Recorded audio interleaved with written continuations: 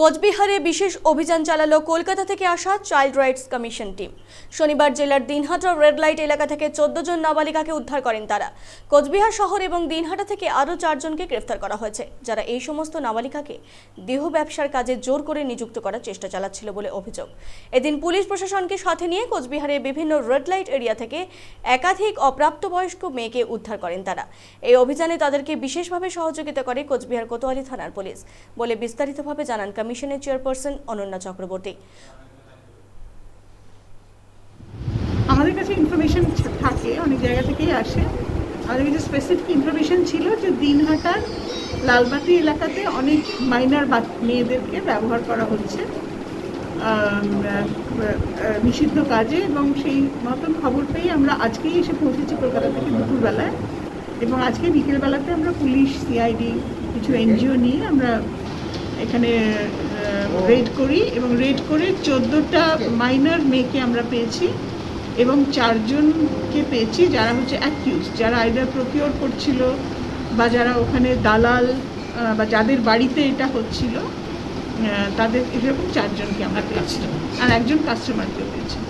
Total কতজন চারজন accused আর চোদ্দ জন যাদের আমরা রেস্কিউ করেছি মাইনার চোদ্দ জন সবাই মাইনর সবাই মাইনার মানে এটা কি ডকুমেন্টেশন হয়ে গেছে না আপনারা সাসপেক্ট করছেন? না না ডকুমেন্টেশন নিয়েই আমরা এসেছি।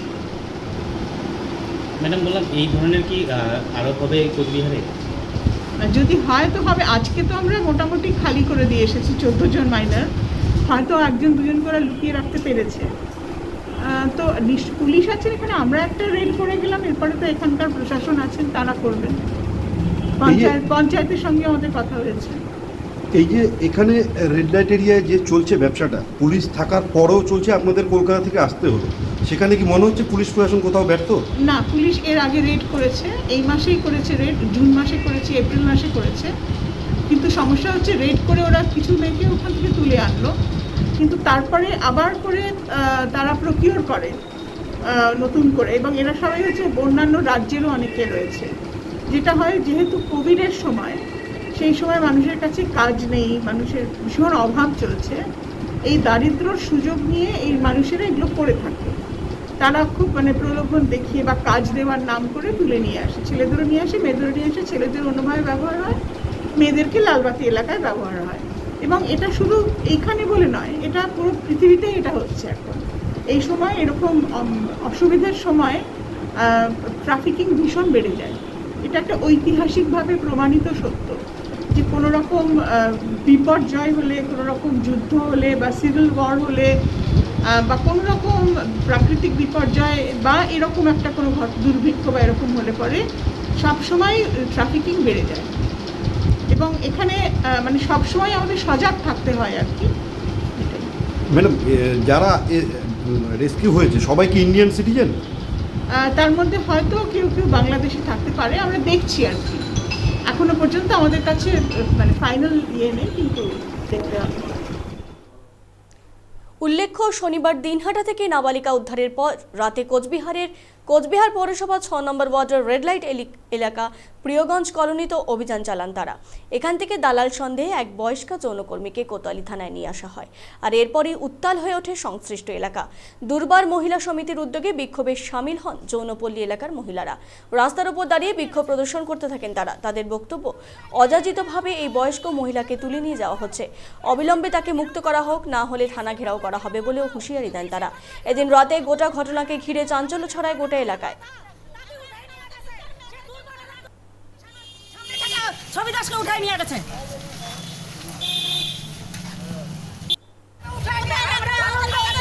আন্দোলন করব। এসপির বাংলা ঘেরাও করব। ডিএসপির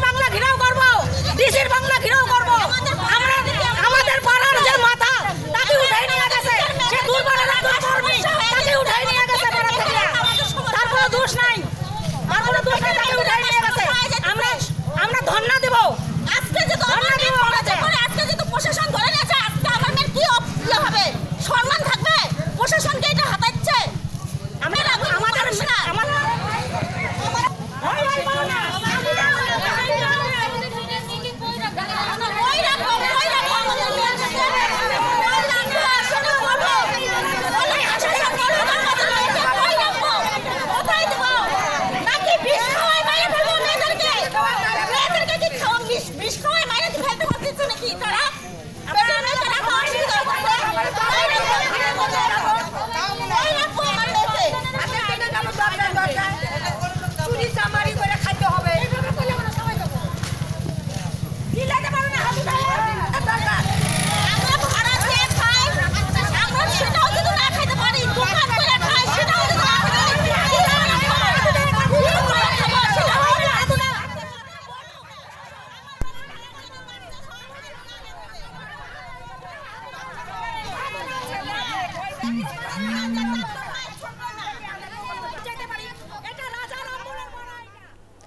দুর্বার মহিলা সমিতির উদ্যোগে যে বিক্ষোভ দেখানো হচ্ছে সেখান থেকে তারা কি জানাচ্ছেন আমরা শুনে নেব। হঠাৎ করে পুলিশ এসে পুরো পাড়া ঘেরাও করে ধরলো। আমরা কিছু বুঝতে পারলাম না। আর ঘেরাও করে মানে ঘরে ঘরে ঢুকছে পুলিশে আর অ্যাডাল মেয়েগুলোকে পর্যন্ত উঠিয়ে নিয়ে যাচ্ছে। কেন? কেন? কিছু বুঝতে পারছি না। জলপাইগুড়ির মেয়ে আমাদের এখানে তো আসে নাই। সেটা আমরা জানি না সেটা আমাদের এই এলাকায় আসেও নাই। আর যদি কোনো মেয়ে আসে আমাদের এলাকায় তো আমাদের দূর ওদের নাম নাম আইডি প্রুফ সব নেই আমরা। নিয়ে তারপরে আমরা মেয়েদেরকে ঘরে ঘরে ভাড়া দেই। আর এখানে তো আমরা কোনো ছোট মেয়েকে রাখি নাই কোনো আঠারো বছরের নিচে কোনো মেয়েকে আমরা অ্যালাউ করি না এখানে। আঠারো বছরের নিচে কোনো মেয়েকে আমরা অ্যালাউ করি না। এটা দুর্বারের নিয়ম। তারা তো কিছুই বলল না। তারা কিছুই বলল না যে কি আছে কি হলো কি সমাচার। কোনো তো কিছুই বুঝতে পারলাম না। ঘরে ঘরে ঢুকলো মেয়েদের বার করল। আর একজন দুর্বারের কর্মী ছবি দাস ওনাকেও পর্যন্ত উঠাই নিয়ে গেল ওনার বাড়ির ভাড়াটিয়া যে ছিল ওনাকেও পর্যন্ত এখন- উঠাই নিয়ে গেল। এখন মেয়ে ছবি দাস আর ছবি দাসের দু- ভাড়াটিয়া দুইটাকে নিয়ে থানায় গেছেন। নাম রেখা রায় আমি দুর্বারের সেক্রেটারি ঘটনাটা হঠাৎ করে পুলিশ এসে পুরো পাড়া ঘেরাও করে ধরলো আমরা আমাদের প্রতিনিধি শুভমের সঙ্গে কথা বলে নেব।